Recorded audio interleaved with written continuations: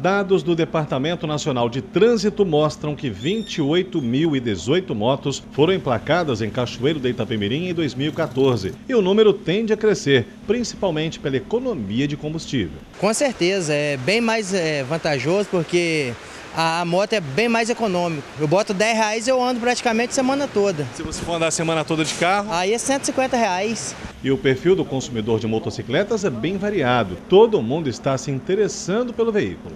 A gente tem do público mais simples até o público que quer uma moto mais esportiva, arrojada para viagem, mas principalmente hoje o público mesmo de daqueles que estão iniciando a vida sobre um veículo.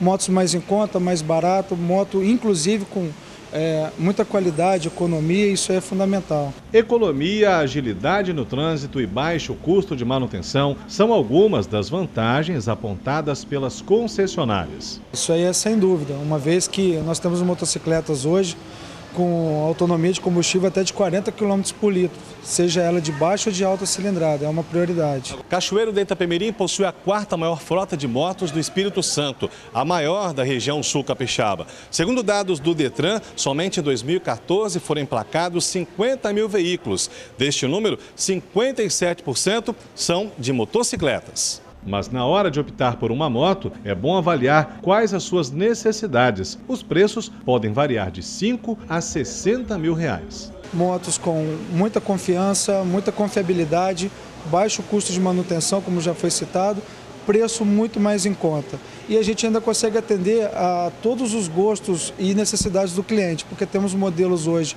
de menores cilindrada, até mesmo as esportivas, que, que podem atender de acordo com a demanda, de acordo com aquilo que o cliente está querendo e buscando.